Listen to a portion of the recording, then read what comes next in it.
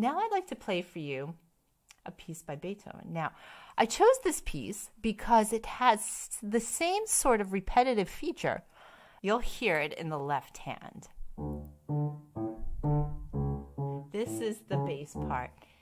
It's like a clock ticking, you know, reminds us of the movement, the passing of time, the value of time, filling it with good things. Beethoven calls this whole sonata, has four movements. I'm just playing the second movement, but the pastoral. Why what did he mean by pastoral? Well, Beethoven was so inspired by nature, he took time for nature every single day. He was a busy guy. Okay. He was a busy guy and not feeling good most of his life. Yet he found three hours every day to take walks outside. He connected with the good things. He listened. Uh, even when his hearing was gone, he listened internally to what God is telling him in nature. And then he wrote things down in a notebook he would carry on these walks. He would listen to the bird songs when he was younger, before he became deaf, and those would inspire him. He would create melodies based on the bird songs. Um, thunder, the power of nature. He took walks no matter what kind of weather it was. Okay, I hope you enjoyed this pastoral, feeling the peace, the passing of time, the good things that Beethoven is trying to impart um, through his the way he interprets nature in this piece.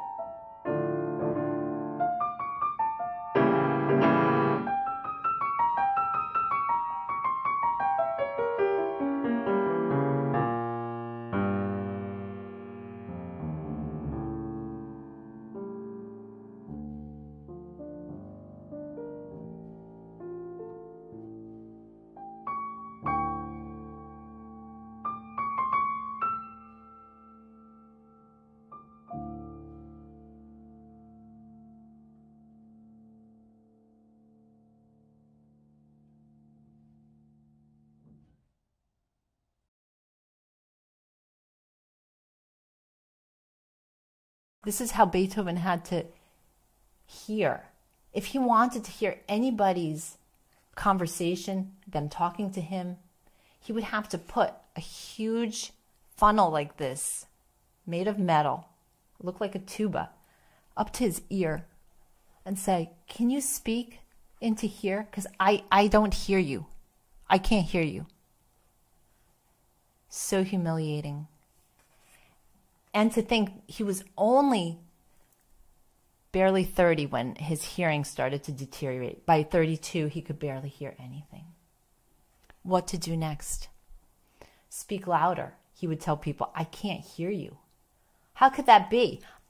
The greatest composer, arguably, in history, at the cusp of the biggest success of his life. He's in Vienna. Everybody is amazed by him. He's at the peak of his career. He has tons of commissions. He's the first freelancer who could decide what he wants to write and what not. He has patrons. He has fame. He has attitude. He's like Prince. Huh. No big deal. You're no big deal. There are a million princes that have come before you and after you, but there's only one Beethoven dude, and it's me. I mean, he had a healthy dose of confidence, right? Then hum- totally humility sets in. Total humility. Speak up. I can't hear you. I'm deaf. The cruelest, cruelest joke. He felt it was the cruelest joke from God. Why did you do this to me? So he writes at age 32, he decides, after going to the last doctor for treatment, the doctor says, There's nothing I could do. There's no hope. Your hearing is just going to get worse and worse until you can hear absolutely nothing. Beethoven decides to write his last will. He says, This is game over. I mean, how can I go on with my life? I can't be with people because of this. It's too humiliating. I can't perform anymore. I can't hear the music I write. Is there any point? Is there any point to any of this? So he writes the last will and testament. I want to show you some of the words he writes. He writes in this last will and testament, Yet it was impossible for me to say to people, Speak louder, or shout, for I am death. He writes, How could I possibly admit an infirmity in the one sense which ought to be more perfect in me than others, a sense which I once possessed in the highest perfection, a perfection such as few in my profession enjoy or have enjoyed. Game over. Done. He decides to end his life. He's in the silence. He's like, God, cruel, cruel twist of fate. Why? Why? Why? But we can often feel like that. We might not have that kind of infirmity that Beethoven had, but we can certainly relate to feeling in a really dark place and not having any sound. We can feel in the silence. So let's jump into a piece. Beethoven wrote a great, great, and all his music is great, but one of the greatest pieces he wrote in this particular time period was the Appassionata Sonata. Appassionata, it's so dramatic sounding, isn't it? What does it mean? A passion, passion, pathos. It's not just a love story. It's so much more than that. It's that revelation of in the turbulence, in my weakness, I am made strong.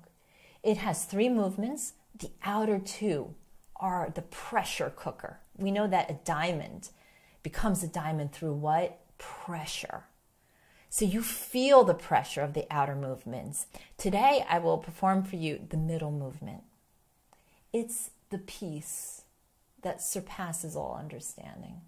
It is the eye in the midst of the storm of total calmness. And what it shows us is this question answer. Just what we need to do in prayer. We need to ask and we need to listen. Asking the question and listening to the answer. Question response is one of the most basic elements of music. And let me show you how Beethoven uses it here.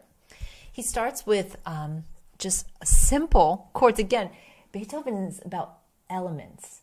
You won't hear beautiful arias like Bellini or Verdi or Rossini uh, or even Chopin created. In Beethoven, you get the elements of nature. Beethoven's music is elemental, it is celestial, it is of the earth and of the heaven. So Beethoven uses these building blocks.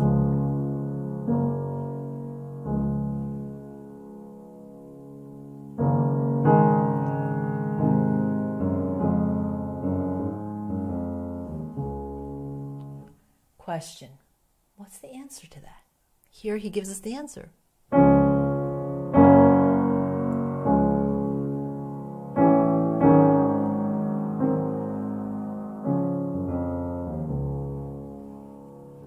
And with that, he creates this beautiful movement where he gives us this theme with a whole bunch of variations that as they get further on, you hear it, it becomes really high up on the piano. It sounds celestial in nature.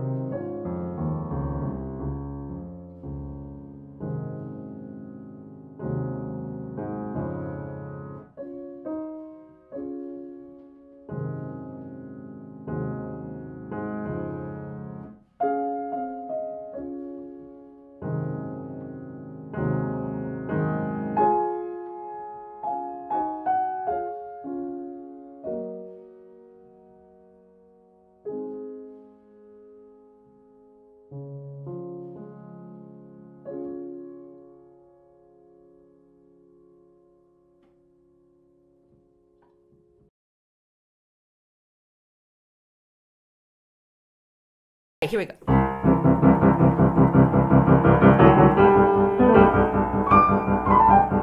I just want to point out that the opening of the sonata, it's like another language altogether. What is this? Is this a melody? It's like a, a snippet. it's like, uh, you know, not a full sentence. It's like ice cream truck. You know, it's something so, so completely random. And this, it's like drumming, right? How do you make one of the grandest sonatas of all time from fragments?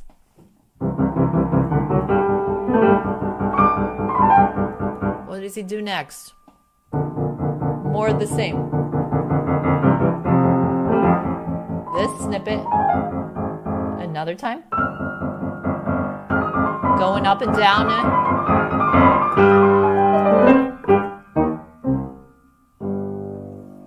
I'm exaggerating the tempo, but it's. Do you hear how abstract it is?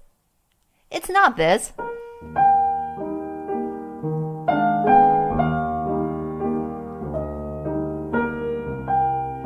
That's Chopin. That's melody. That's feeling. This? How do you explain this?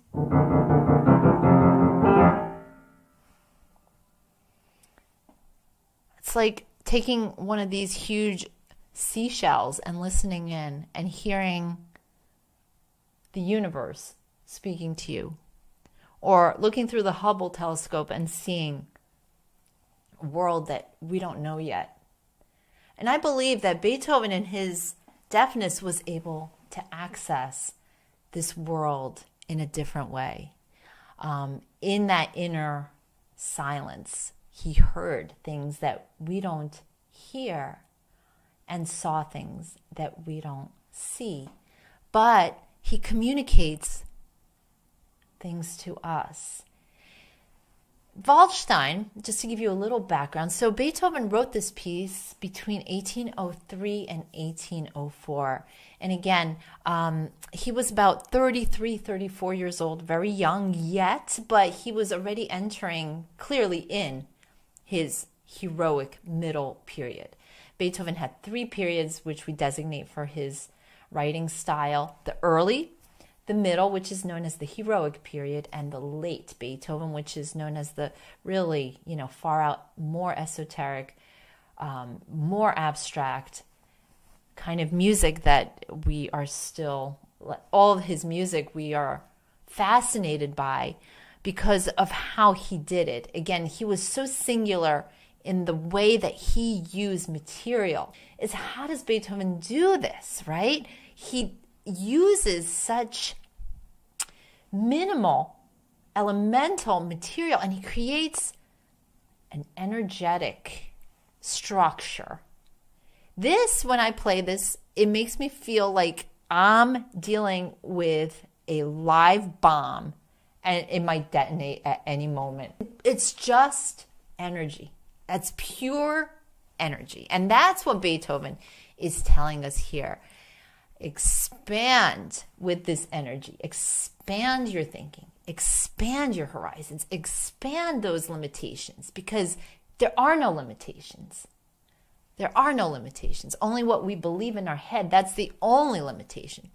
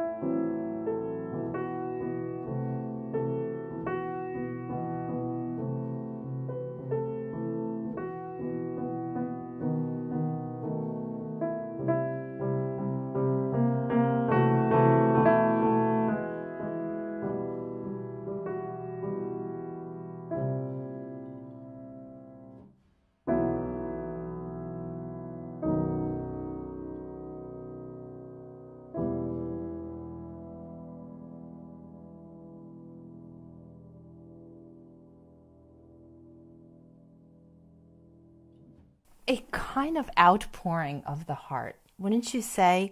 Uh, there is this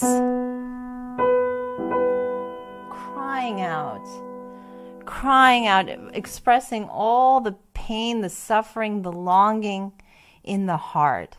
Last week we talked a little bit about Chopin, and when he wrote the preludes, he was very sick.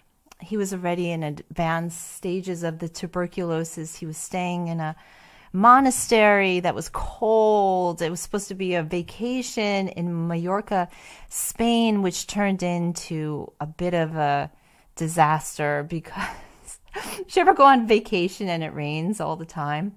you go to Florida and you're expecting sun and you're expecting to just, you know, soak up the rays, get some relaxation, be outside, and instead it rains every day and it's about 60 degrees and you think, "Oh my gosh, that's not the vacation I was hoping for." Well, that was a little bit what happened with Chopin. It was supposed to be a time away, and it turned into a time of uh, coldness, getting further into his sickness with the tuberculosis and just a, a general time of malaise. And um, isn't it amazing in those times of malaise, in those times of difficulties, what often emerges?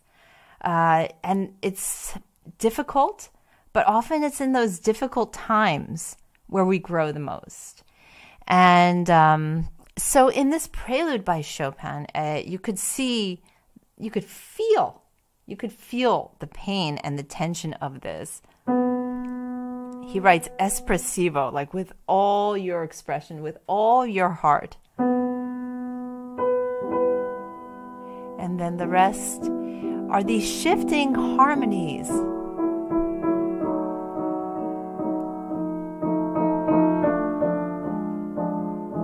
And they're just like shifting shadows. Did you ever see the sun and uh, as it, it moves ever so slightly, or the wind blows and the breeze, and you see how the light reflects differently? Well, it's it's to me that's a picture of these harmonies which shift ever so slightly. And i promised that we would talk a little bit about the subject of space between the notes because it relates to our life. Music is simply uh, a way a language of the heart. And our heart is never beating like a metronome or like a clock. It's always changing, it's always shifting. If you are running, obviously it's faster than when you are relaxing.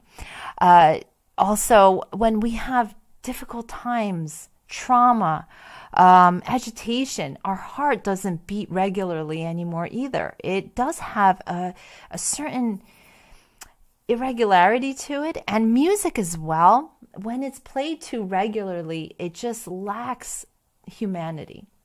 And it's in the space between the notes, Mozart said, that the magic of music happens. And it's also in those spaces in our life, in those times where it seems like nothing is happening, that really, like Mozart said, the music is made, that really the biggest shifts are made. So, just as an example, if I was to play the first few measures very evenly,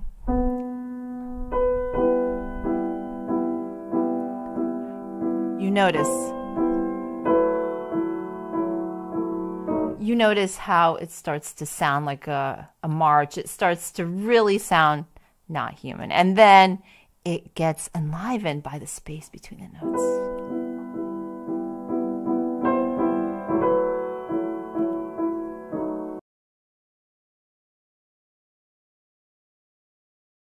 I, I remember as a child when I first got uh, my first recording of Chopin's music, played by Arthur Rubinstein. It was a gift my piano teacher gave me, and I I was listening on my record player. Of course, that dates me, but okay. Uh, it was such a beautiful sound, and I thought, oh my gosh, is this even possible? How do you create such sound? It seemed like from heaven, from heaven, and Certainly, Chopin's music is music of dreams, music of the night, the mystery of the night. looking up at the stars, hearing the crickets, hearing um, some of those uh, rustlings in the night. You hear the mystery, the potential, and the possibility. So, um, Chopin, when he wrote the nocturnes, there were three elements that he wanted to focus on. Number one was the sense of melody. For instance, this nocturne, the first one in B flat minor starts. And so the melody is usually on the top part of the piano because Chopin was very interested in imitating the sound of the voice. So it's very operatic, like an aria, um, just pouring out your heart. That's what he was doing on the piano. And then the left hand, he was so clever. He devised these wonderful, what we call broken chords. Basically, it's this. But imagine if that was all there was in the bass.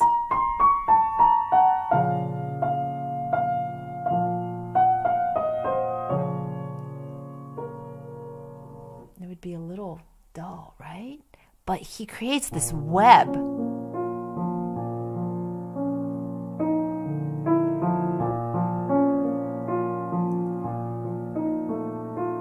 there's so much connective tissue, connective tissue uh, supporting everything. So you have this incredible opportunity of expression. And then Chopin, third thing that he adds, inner voices, um, melodies underneath other melodies. And of course, this is so complex, this music, but Chopin's quest was for simplicity